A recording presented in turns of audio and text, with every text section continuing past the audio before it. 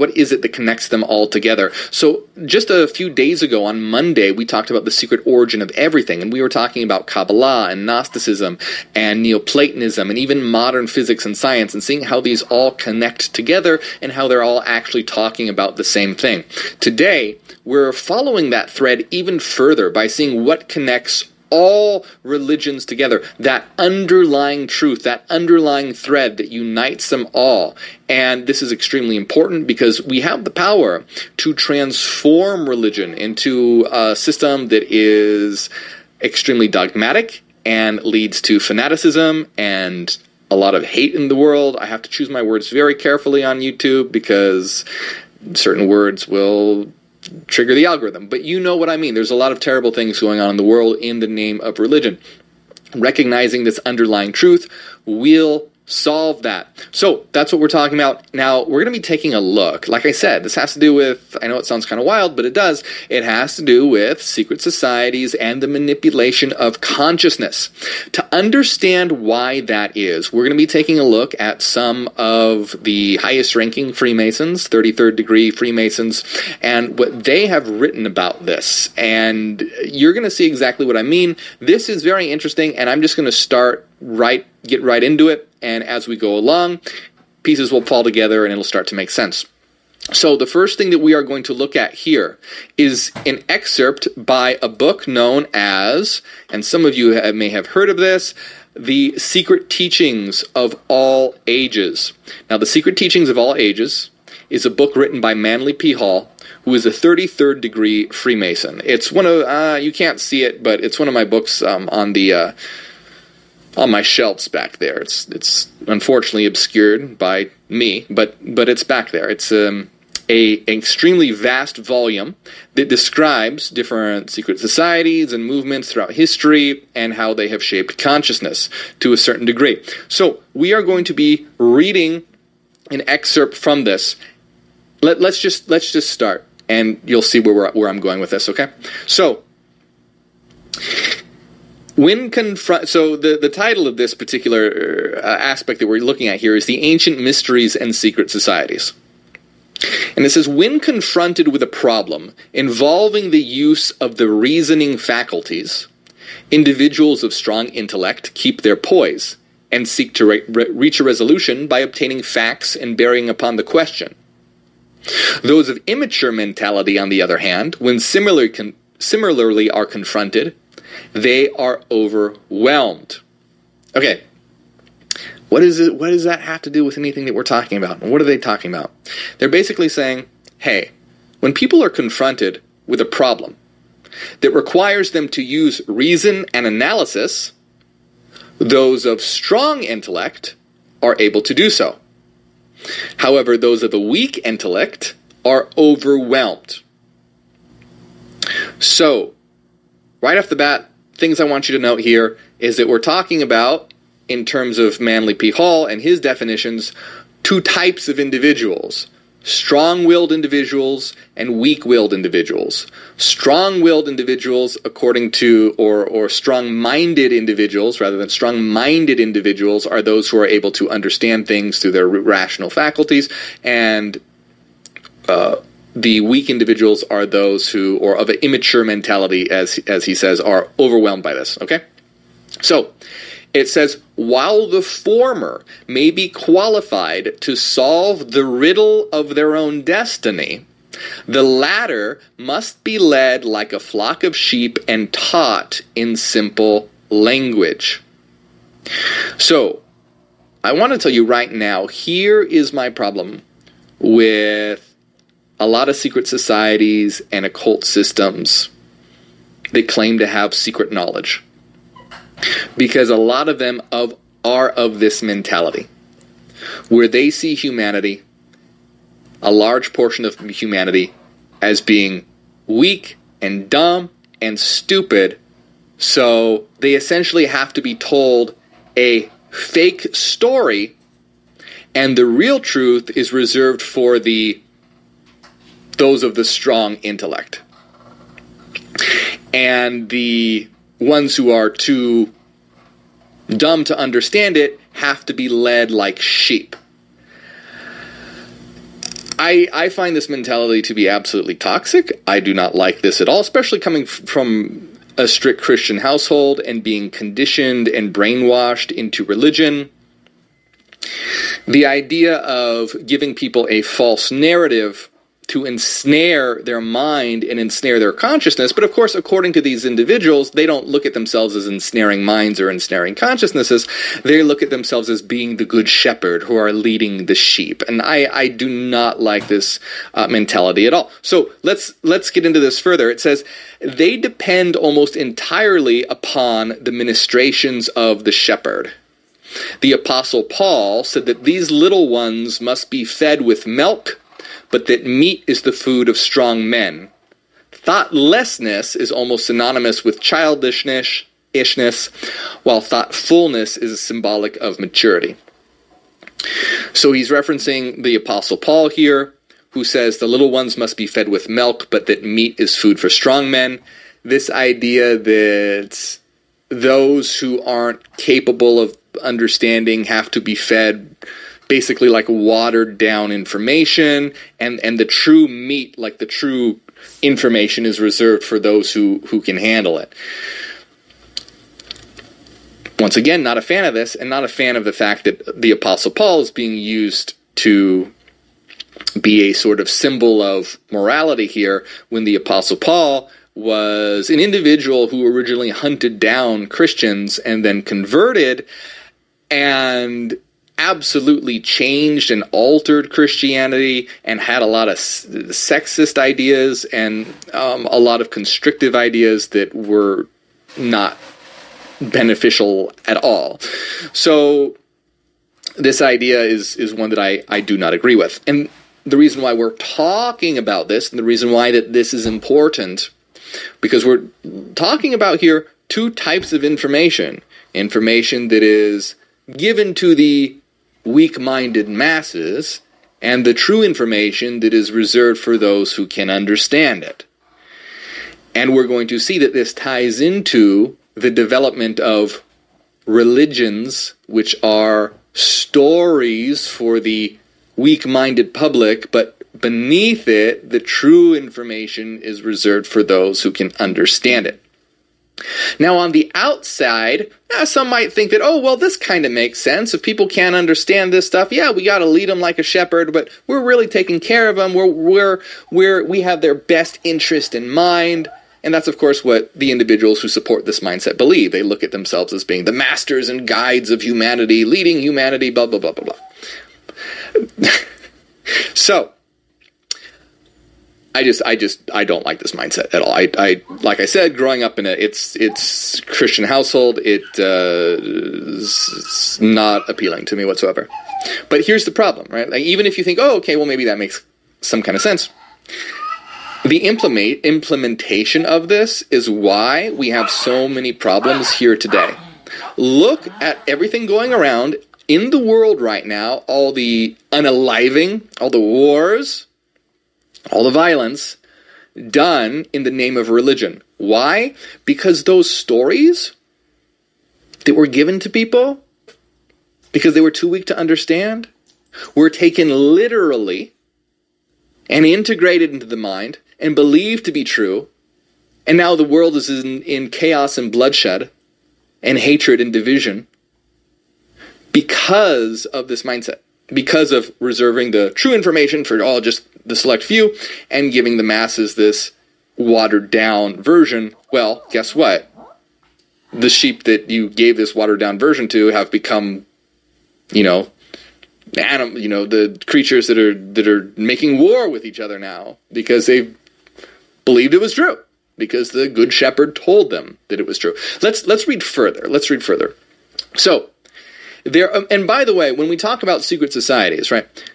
So, what are secret societies really? Secret societies are groups of individuals have, who have understood reality in a certain way, and they believe that the world should be run a certain way, and are thus manipulating consciousness such that their vision of the world comes to fruition. And this is often done through the creation of religions. creation of religions manipulates consciousness. There are lots of different ways to manipulate consciousness. Religion is a really strong way to do this. And you can look at this. There's a lot of examples of this.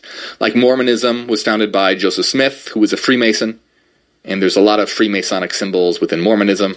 Shares a lot. And there, there's a lot of religions that were founded by secret societies and birthed from secret societies to manipulate consciousness in some form or another. So, and I always want to be very clear. Right, the information on my channel, I'm opposed to this kind of mindset. That's why the information on my channel is not about like, oh well, only if you attain the eleventieth degree of the Grand Master of the uh, arch rays of the beautifying sun, only then can you know the truth of existence. No, the truth is that we all have the truth inside of us, and we can all access it. And I just want people to be able to have the tools to do that and eh, to choose, to have the choice, to have the choice before them. And if this, so here's the thing: if this information is too hard for some people, well, it's their choice. Give people a choice. Give people, you know, sort of like the red pill or the blue pill. Give people a choice. If they don't want to know, they don't have to. And most people who supposedly aren't ready for this or whatever, they're not interested in this kind of stuff. But give people a choice. Make this information accessible. Make this information accessible. Give people a choice. Show that these stories and religions are false so that we can begin to build a new world and heal from all the chaos and corruption done from all this manipulation that's ultimately based on ego and power trips and people wanting to rule the world. So let's continue here. And and by the way, I'm not totally saying that Manly P. Hall or anything was a terrible person. I don't know much about Manly P. Hall. I like some of his work. I think we should always be careful with reading. I, I don't agree with everything in his work. I, I don't agree with uh, everything in anyone's work. So I just want to you know point that out. I right now am criticizing the institutions that manipulate consciousness. Uh, when it comes to Manly P. Hall himself, I just want to point out I don't know much about him. I know his work, I know what he has written about, and that's what we're looking at here today. So we have to be critical, we want to be skeptical, we, we want to remember that we are looking through things through the lens of logic and reason. So, Manly P. Hall continues by saying, There are, however, few mature minds in the world. And thus, it was that the philosophic religious doctrines of the pagans were divided to meet the, meet the needs of these two fundamental groups of human intellect one philosophic, the other incapable of appreciating the deeper mysteries of life. I, I, find that to be very condescending. I think that it is true that it's rare to find true free thinkers and truly intelligent individuals, and that a lot of people are, for the most part, sleepwalking and just going through life without paying attention to this stuff. But I think that that could change to a large degree if people were giving access to this information. If more people knew or had access to the tools to be able to wake themselves up from the slumbering. So I don't I, I, I don't as always, you know, just not a fan of this mindset. I understand the point, but I don't agree with it. It says, To the discerning few were revealed the esoteric. Okay, so esoteric means hidden or secret, basically, right? So to the discerning few, to those special people, the secrets were revealed, or the esoteric was revealed, or spiritual teachings. While the unqualified many, the masses, received only the literal or exoteric interpretations. So exoteric means outer, where esoteric means inner and hidden and secret. Exoteric means outer for the public. So the few were giving the secret information, and the vast majority was given the only the literal public interpretations. In order to make simple the great truths of nature and the abstract principles of natural law, the vital forces of the universe were personified, becoming the gods and goddesses of the ancient mythologies. So, what the truth is, is that reality is composed of fundamental forces and energies. The masses, instead of being taught that, were taught about gods and goddesses as symbols of these forces and energies. And we can see this reflected today. But guess what happened? Everyone decided to unalive each other because they believed that their God was the true God. Not understanding that in all those varied religions, their God is a symbol for the same underlying truth. And so they're destroying each other based on a symbol, based on a lie that has been perpetuated. Now, there is nothing wrong with using stories and narratives to teach things. But you should be explicit that these are stories and narratives. You should be, you should, you know, if you're going to teach someone and say, hey, you know, t- talk in terms of, like, for example, Satan and Lucifer and Christ as archetypes. Satan could perhaps represent individualism and rebelliousness and dominance and selfishness whereas Christ or Lucifer or liberating archetypes represent knowledge and reason and light and c- collective love, etc. You want to be explicit that these are symbols and archetypes and don't represent actual events that happened. Now, just to be clear, I do believe that Jesus Christ actually existed, but I don't believe that he existed as someone who went around and did miracles and was raised from the dead. I believe that Christ was a very enlightened individual who wanted to teach people how to reach a higher consciousness and realize their own divinity and not hurt each other. Love thy neighbor as thyself, you know, the golden rule. I believe that that was was the goal and this guess what happened? This got hijacked by a religious narrative and transformed Christ into a symbol of oppression by inverting these teachings and making it be about, oh, how we are all dirty and sinful and flawed, and we must pray and worship Jesus Christ to be able to be saved from our fundamental brokenness, which is the inverse of the truth, where we are not fundamentally broken, we are fundamentally the source of all reality and all existence upon which all depends. We are reality coming to know itself through itself right here and right now. Literally, as people begin to realize this, as as maybe even you watching this right now starts to realize that oh, I am part of the universe that's beginning to oh, understand that I am the universe and this is the universe coming to consciousness. This is reality coming to consciousness through us. We are the universe. We are existence. So anyway, here's the story. You have the individuals be given you know stories that they can understand and comprehend while the truth is reserved for the select few. In order to make uh, let's see. Yes and it's so okay so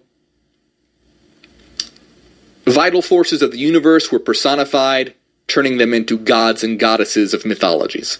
While the ignorant multitudes brought their offerings to the altars of priapus and pan deities that represent the procreative energies, the wise recognized in these marble statues only symbolic concretions of great abstract truth. Right? So you have statues of the statue of the god Pan, and you have the masses that are worshiping Pan and bringing offerings to Pan, where those who understand the true nature of reality understand that these mar- this statue of Pan simply represents the procreative force of existence. So Pan represents, according to Manly P. Hall here, the procreative force of existence. but the masses interpret it as being an actual being, an actual entity who looked like Pan and behaved in all the different mythologies that, that Pan is associated with. In all cities of the ancient world were temples for public worship and offering. In every community also were philosophers and mystics, deeply versed in nature's lore. These individuals were usually banded together, forming seclusive philosophic and religious schools. The more important of these groups were known as the mysteries. Many of the great minds of antiquity were initiated into these secret fraternities by strange and mysterious rites, some of which were extremely cruel. Alexander Wilder, and, and by I, I want to mention this as well, is that like I, I have you know interacted with individuals who have this mindset, this idea of oh, humanity has to be given like this dumbed down version. Uh, ultimately, what you're doing is you're lying to people, and I can understand if you know it was necessary in the past to to put things in in these terms or whatever. But especially right now, I mean, I do have I have contention with even the the past, but let's just give you know put that aside for now. Right now, there there is no reason to give humanity these false narratives. Can you imagine?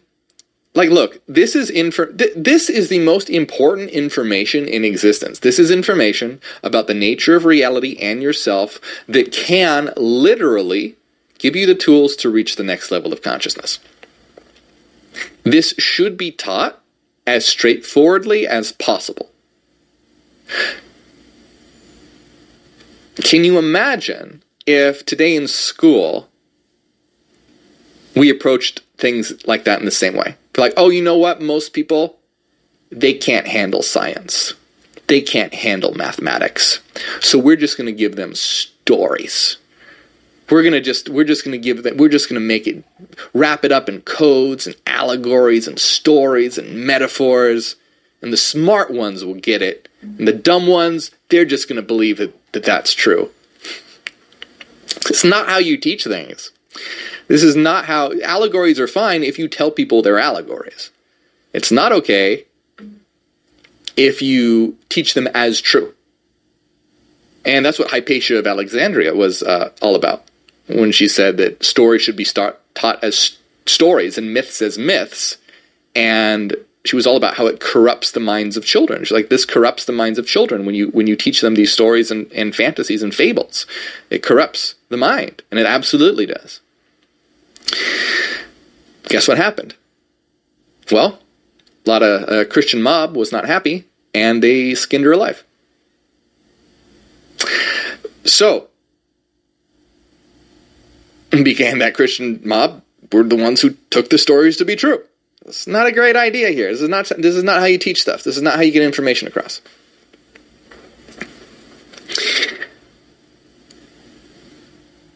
So Alexander Wilder defines the mysteries as sacred dramas performed at stated periods. The most celebrated were those of Isis, Sabazius, Cybele, and Eleusis.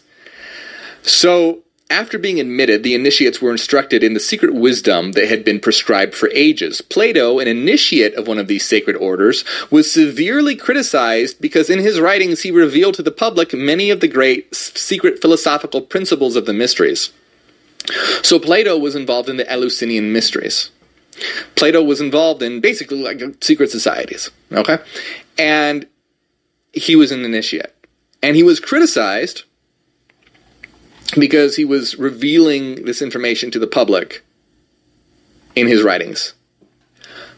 Well, good. Who gives a. F- Plato is considered one of the greatest philosophers in history. I think it was Bertrand Russell. I'm not sure. Some philosopher, probably Bertrand Russell, said that all of philosophy is just a footnote to Plato. Essentially, everything is a reference to Plato or a response to Plato. Now, I wouldn't go that far, but it shows just how important Plato was to the development of the Western philosophic tradition. And can you imagine if he didn't write half the stuff he wrote because some people with an ego that wanted to keep secrets from themselves were like, ah, nah, you shouldn't, you can't write that. It's ridiculous. And thankfully, he did. And philosophy blossomed because of it. So, what's, what's also very interesting, by the way, as well, is that it is theorized that the Eleusinian mysteries had a psychedelic experience associated with it. In one of their cups, or in, in some of their cups used for one of their secret rites, was found residue of er- ergot, which is a substance that uh, uh, a fungus that LSD is derived from or synthesized from in some way. It's involved in the it's involved in the process of of deriving LSD ergot. So so this potentially psychedelic fungus uh, was potentially used in um, the Eleusinian mysteries, which means Plato might have been tripping balls, which is thankfully he did uh, if he didn't did indeed, but it seems very possible that this was highly influential in this philosophy as well. So it continues by saying Thomas Taylor has written, Man is naturally a religious animal. From the earliest dawning of his consciousness, man has worshipped and revered things as symbolic of the invisible, omnipresent, indescribable thing concerning which he could discover practically nothing. So, this uh, substitution of symbols. It says in the ancient world, nearly all the secret societies were philosophic and religious. Space prohibits detailed discussion of the secret schools. There were literally scores of these ancient cults, with branches in all part of the Eastern and Western world. Some, such as the Pythagoreans and Hermeticists, show a decided Oriental influence, while Rosicrucians, according to their own proclamations, gained much of their wisdom from Arabian mystics. Okay, so we have this idea here of you know two different types of religions that were created, one that represented actual truth, and one that were literal interpretations given to the masses. Now this is discussed, and like I said, Manly P. Hall. Now, if we take a look at uh, J.D. Buck here, just to show the correlation, this is another Masonic book known as Mystic Masonry, written by J.D. Buck, another 33rd degree Freemason. Some say 32nd degree, some say 33rd degree. I believe in it's in, his obituary that says 33rd degree. Anyway, J.D. Buck writes in his book, this is a different individual. I just want to show the correlation here. J.D. Buck writes In the ancient mysteries and in all of the great religions, there was always an exoteric portion given out to the world, to the uninitiated, and an esoteric portion reserved for the initiate and revealed by degrees, according as the candidate demonstrated his fitness to receive, conceal, and rightly use the knowledge so imparted. So, if one had to do this in the past because they were afraid of persecution or something, I get it. That's fine. Nowadays, not necessary. Not necessary. If people need to demonstrate that they can learn information, that's that's how schools work. Schools work like that. You take an introductory course. If you pass the test and graduate that course, you take the next one up. And if you graduate from that one, you take the next one up and you learn higher degrees of knowledge. But it's not this big, oh, well, this is all secret and we're only going to tell you what it's about if you show that you're worthy and can pass this test. And it's just that's just unnecessary, totally unnecessary. It's a bunch of ego, uh, power trip, manipulation tactics. That's what it is. In the past, maybe not. In the past, it had a place. People had to be, and and if one if one uh, wants to do this to imbue a certain purposefulness in things, one can do that. You can have secrets that are not detrimental. For example, if you just want to have a secret ritual that only you know certain people of, of, of who who have done a certain amount of work get to partake in, that's fine. But withholding like actual information, that's that's the problem.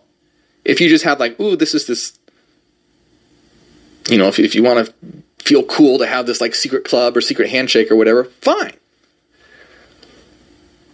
But when you're actually withholding information from people and the world that is critical to humanity's evolution, there's nothing but ego and manipulation there. Previously, like I said, fine, acceptable. Now, there's no reason for it. This information needs to be taught like it's taught in schools. So that humanity can reach the next level of consciousness and we can realize that we're all in this together and start building a beautiful new world right here and right now. So, uh, J.D. Buck continues by saying, Few professed Christians are perhaps aware that such was the case with Christianity during the first two or three centuries. The following quote from Albert Pike's great work may therefore be of interest. Quote, this in its purity, as taught by Christ himself, was the true religion, as communicated by God. It is no new religion, but the reproduction of the oldest of all, and is true and perfect morality is the morality of Masonry, as it is the morality of every creed of antiquity. So, what this quote is saying is that Christ communicated the truth. And this truth wasn't new, it was the oldest truth of all, the most fundamental truth of all, and is the truth of every creed in antiquity, basically. St. Augustine says what is now called the Christian religion existed among the ancients and was not absent from the human race until Christ come, came, from which time the true religion, which existed already, began to be called Christian. All right, so there's a lot more that we could say here. I'm just looking at the time. There's a lot uh, here. There's a lot of information here. If you guys want to read this, check it out. Check out the Secret uh, Teachings of All Ages by Manly P. Hall and the Mystic Mason- Masonry by J.D. Buck. Always be careful when reading. I always say, be careful when reading anything that's occult or esoteric because it, it can be a lot of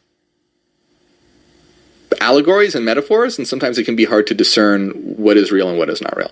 And quite often, some of these texts will be manipulative as well. Um, some some some of them will be written by individuals with intentions that are nefarious, and so they may slip in things in there to as like conditioning tactics or brainwashing tactics or whatever. So just be careful, be cognizant when exploring this kind of stuff. And always use logic, always use reason, always think for yourself. Make sure that it aligns with with truth and critical thinking, etc. So I want to pull this together now. All right, so we're talking about the secret truth that underlies all religion, all religion. So what is that secret truth, right? We're talking about, oh, well, there's the secret truth that was told to different initiates, and then all religions are basically just representatives of those truths. Now, I want to read real quick a little highlight from an article here called What Every Religion Hides at Its Core, a, divine, a dive into Jung's truth. So this is on medium.com and written by Thomas A. Vick. So check out Thomas A. Vick on medium.com if you like some of this, what I'm about to read. But I want to explain this because Thomas Vick had an experience that mirrors what we're talking about here. And he quotes a quote by Carl Jung, and Carl Jung is is is amazing, fantastic Swiss psychiatrist and psychologist. So Carl Jung says it's erroneous to believe that religions differ in their innermost essence. Strictly speaking, it's always one and the same religion. So Carl Jung is basically saying it's wrong to think that in their inner core religions are different because strictly speaking, it's the one and same religion. So, what's this mean? What's this talking about? So, Carl Jung was very much into understanding archetypal symbolism and how humans communicate ideas through stories and metaphors. And he studied all kinds of mystery schools and secret societies. So, he studied alchemy, he studied Gnosticism, uh, he studied uh, astrology, he studied all these systems, but he didn't take them as being literal truth. He didn't believe, like in Gnosticism, that Yaldabaoth, the demiurge, created the world to trap human souls. He believed that, well, a Jungian interpretation of this would be that the uh, demiurge or Yaldabaoth represents the ego. as something to overcome. And alchemy, he didn't believe it was about, or he didn't interpret it as, or he didn't believe himself that one could turn metal into gold by studying alchemy. He believed that it was representative of purifying the soul. Instead of changing base metal into gold, one is transforming the soul by removing impurities and self actualizing. Same thing with astrology. Astrology, he didn't believe had anything to do with the planets or the stars, but were archetypal symbols for core personality traits and uh, themes and energies that exist within humanity. Not not with the planets, not with the stars, but just as archetypal symbols of energetic patterns. But this is a good example. Well, here first, Carl Jung point is basically sort of like all religions are like this. Just like alchemy shouldn't be interpreted as turning metal into gold, and astrology shouldn't be interpreted as act- the actual planets and stars, and Gnosticism shouldn't be interpreted as an actual evil archon that's uh, trapping souls and whatever. He's saying that these are all symbols and metaphors for the true underlying energetic structures of existence. And this is exactly what Manly P. Hall was saying. This is exactly what Man- uh, Hall was saying, more or less in the same terms, where his example was Pan representing the procreative force. It's not that the god Pan actually exists, it, there's a procreative force in nature, and humanity can symbolically understand that procreative force as represented by the god Pan, as a story, as a symbol, as a metaphor. The problem is with religion is when it's taken literally. And here is how we can have the power to transform religion. We can have the power. See, we can't get rid of religion. That's impossible. You can't. You can't just be like, "Oh, okay, everyone, let's let's let's get ri- let's eliminate religion." That's not possible. You can't. Can you imagine how many people would would would just the the, the amount of, of, of violence that would occur from that attempt? And even if that occurred, it wouldn't be successful. It would just cause more people to become uh, zealots and form resistance groups, and it would be a mess. You can't just forcefully, brute force, eliminate religion. That's not how reality works. Energy cannot be destroyed, it can only be transformed. Elements of the psyche can't just be eliminated, they have to be integrated. You can't just eliminate religion. That's the stupid idea. It's an ineffective idea. It's an impossible idea. It's not. It's not possible. What one has to do, like energy, is transform it, and it can be transformed from the inside out. And that's the great thing about it is because the inner core of all religions have that underlying truth behind it. So it has that core that can transform it from the inside out. Now, this is not an easy process. It's not going to be one that can happen simply and overnight. It's going to you know take a lot of work but essentially what this is about is about unveiling the inner core that all these religions are based on so that individuals can start to come to the realization that their religions are all allegories symbols and metaphors for an underlying truth that we all share so whether you're talking about jehovah or the one or allah or uh, Brahman or you know, name name any of the other gods. You can understand that these are just cultural and religious and symbolic and allegorical representations of the underlying truth that unites them all together. And it's when they're taking literal and when it's understood as metaphorical, then there's no problem. There's no issue because you understand that it's just a different it's like different languages. You understand that uh, you know a language in one a word in one language, an entity. You know, if, if there's a cat, you know, you're looking at a cat over there. You have ten different languages. You all have ten different words for cat, but you all understand that those words reference that cat, even though there's ten different words, cat or gato or whatever. Even though there's different words. Neko, I think neko is cat in Japanese. That's such a cute. That's a cute word, isn't it? Neko. So whether it's neko or cat, kitty or gato, whatever, you understand that that word, that label, references the same thing. So, same thing with religion. Regardless of the symbols that we're using across different traditions, we can realize oh, these represent the same underlying truths, the same underlying fabric that can unite us together. So, instead of destroying each other because we think that the words are real, we can realize that they signify the under and, and, and that means we can keep all that symbolism and all that cultural expression but understanding that it's symbol and allegorical and, and metaphorical with that explicit understanding. And of course as well realize that these allegories and stories and metaphors were written at a certain time in history by fallible humans and so there's a lot of stuff in there that's not good so all the, you know, homophobic, violent, sexist, misogynist, all that crap, you can it needs to be realized, oh well, that was written in different times. This does not apply today. So remove all that. Keep all the allegories and the stories, but understand that they explicitly that they are allegorical and that they are in the form of stories. And this is where we can start to resolve all the problems that were created from these religions. Imagine how, like, take alchemy, for example. Imagine the enormous difference that occurs when one takes alchemy to be literal. So you're spending your whole life mixing different elements together, trying to turn metal into gold, but you have faith that you can do it. You're trying, and you're wasting your life. When really what it's about it's about transforming the soul and purifying the soul and actualizing the self. Well, this is the same idea of someone who wastes their whole life trying to please God and worship God and and and be a servant of God when the truth is is about actualizing yourself. And Jesus said, Ye are gods.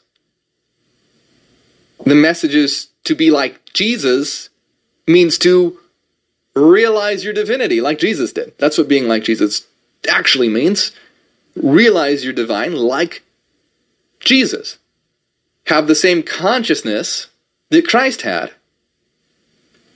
And there's not this unbridgeable gap that strips you of your divinity. So you see that just like someone who would waste their life away working on alchemy when it's redundant, but the inner message is what's critical and important this is what unites humanity together. And so, for example, let's say you have someone that believes in alchemy and uses the symbols of alchemy for about purifying the self. Someone in the Gnostic tradition might talk about it in terms of overcoming archonic forces to attain gnosis. So, whether you're talking about removing impurities or overcoming archons, underneath these symbols and metaphors, it means the same thing. To overcome the imperfections in oneself to become a more integrated and whole individual. And you can talk about it in terms of alchemy, you can talk about it in terms of Gnosticism, you can talk about it in terms of Hermeticism, you can talk about it in terms of Kabbalah, you can talk about it in terms of psychology, but it's all referencing the same fundamental thing. And this is how we are able to transform reality. So you see the difference here is it's an elevation in understanding where one isn't just outright, oh, we need to eliminate religion. That's not possible. You can't do it. But instead, it's about unveiling what is actually there underneath it all so that individuals can don't have to give up all the things that they're attached to like, you know, their cross jewelry or uh, you know the different representations of their gods and goddesses and Kali and Brahman and all that. That's all fine. You can keep all that's great. That's what makes life interesting. All all the different stories and metaphors, all the em- emotional elements are, are great. They're fantastic. It's it's it's you know, it's why people are drawn to these things. It's it's it's fulfilling. But as long as they are understood that they represent in an allegorical and metaphorical way energetic structures of reality. And underneath all religion, and I'm looking at this, I, I only read one one quote from here that was actually just a Jung quote. So let me let me just read a couple things here from this person because I, I wanted to. Said, I recall my own awakening on October 6th or 16th. On that day, while lounging at my home, a jolt of realization swept over me. The threads connecting the various spiritual and religious teachings suddenly tightened. The essence was the same, only masked in different guises. Just as these tr- uh, trees are nourished by the same soil, every religion drinks from the same wellspring of spiritual truth. And he goes on to say one might argue, but their rituals are different, their gods have different names. True, but consider it the heart of each religion is like a map guiding the seeker within to a place beyond the veil of names. Dive within, recognize your true self, and you will find the universe there. So, a couple things I want to say about this real quick.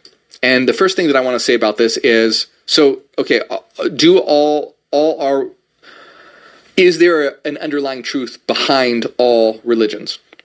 When understood metaphorically and symbolically, yes. When taken literally, no. They're about the as opposite of each other as you can possibly get. You know, Christianity is is nothing like Hinduism when it's taken literally. And this is what causes all the clashes and conflict. So it's important to realize that you know people think, "Oh, well, Everyone just needs to get along. It has to be explicitly realized, though, people won't get along until it's understood that these are metaphors and allegories because they believe that these things are true. With I grew up a Christian, I know this. You believe with all your heart, mind, and soul that God created the universe and that you are a product of sin and have to worship and believe in God, or else you will go to hell for eternity, be tortured for eternity and you believe that everyone who doesn't believe in God is going to be tortured for eternity. So, of course, what's that going to make one want to do? Well, you're going to want to go out and save people because you don't want people to be tortured for eternity. And now you're bugging everyone. You're you're knocking on people's doors. You're you're you know hating on gay people because you think gay being gay is a sin because this old book said so and all this stuff. It's not, but it follows from literalist beliefs. So when religions are taken to be literally true, they're miles apart and cannot cannot connect. They are they are they are incompatible. They are mutually exclusive. Cannot. But when one looks beneath that layer and it's realized that one can interpret these stories metaphorically and allegorically while getting rid of all the hateful, outdated BS, this is where we can begin to work on unity and transformation, where we can begin to respect each other's traditional and cultural expressions as allegories for an underlying true reality. So a Gnostic can talk about the one, and a Hindu can talk about Brahman, etc. But it's the same thing. You don't have to get in a war because the Gnostic says, well, Brahman's actually an archon of the demiurge and is trapping, you know, whatever. I don't know. They, they, they don't believe that. I'm just pulling that out of the air as, as an example of, of what could happen if one takes this stuff to be literally true. But if you take this stuff to be allegorically uh, representative of an underlying fundamental truth. And what is that underlying fundamental truth? In that article I read, they said, look within and you'll discover the universe. And that's the whole idea all of this is about looking within and realizing that you and all of us are divine. It's about realizing that we are all interconnected and that God is a symbolic representation and archetype of our true collective self and what we are. So in Hinduism, particularly Advaita Vedanta, the individual soul must realize that it is Brahman all reality. And when the individual soul, or the Atman it's called, when the, when the soul, when Atman realizes it is Brahman, it becomes Brahman. In other words, when the soul realizes it is God, it becomes God. Gnosis was all about realizing that one was a emanation of the divine light from the one. Kabbalah is about understanding that God is coming to understand itself through us. And likewise, all of these traditions can be interpreted in such a way where we are understood to be uh, intrinsically divine and interconnected. And that's the thing the truth that we all must understand, despite all these different allegories and expressions, the fundamental truth that we must understand is that we are divine and interconnected.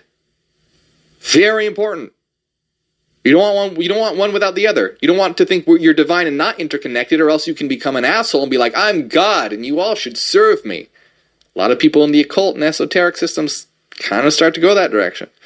You also want to understand when you realize, but you re, when you realize we're all interconnected and part of the same system, you realize we're all divine, and it would dumb be dumb for me to hurt you because it's we're we're part of each other. It'd be like stabbing yourself. Why would no? You're not going to do that when you realize this is an interconnected system. But you also want to realize that you have that power. You also want to realize that you know you don't want to be uh, also like um, you, you know there, there's this, this this sort of idea of well one has to be super like meek and humble and timid and and and and and and not care about the self at all. Like anything that has to do with the self is bad. No that's not the case either. One can be proud of one's accomplishments and one can do things to enhance the self. Because guess what? When you enhance the self you enhance the collective. The collective is formed by selves now you don't want to enhance the self at the expense of the collective that is where the problem lies. So it just uh, relies on understanding that there's nothing wrong with enhancing the self when enhancing the self also enhances the collective because you're part of the collective. But if it's at the expense of the self, if you're hurting others, stepping on others, treating people badly to get ahead, then that's a problem. Now you're you're uh, not truly understanding the nature of the interconnected uh, nature of reality. So anyway, long story short, the truth is is that we are all di- these are the two things that need to be understood. We're all divine and interconnected. Now, of course, it's very, a very complex complex system if you want to dive into the intricacies of all this. But underneath everything, we want to understand that we are divine and interconnected. And this is what Jesus meant by, you know, love thy neighbor as thyself. Love thy neighbor as thyself because thy neighbor is thyself. When you realize that we're interconnected, we're aspects of each other, we're reflections of each other. So, this idea of being able to have this understanding is what will begin the long process, but begin the process of transforming religion and transforming the world. And we can transform everything. This is not, we want to transform religion, we want to transform science, we want to transform politics, we want to transform the world. And all of it is based on the mind, consciousness, understanding, because actions flow from the mind. Everything around you is an idea. Everything was an idea in someone's mind at some point. Everything around you, everything that's created, those are ideas manifest. Everything around you are ideas manifest. Everything is ideas manifest to some degree. And all actions originate in the mind and are expressed physically. So if we want to change the world, we have to change our minds. No way around it.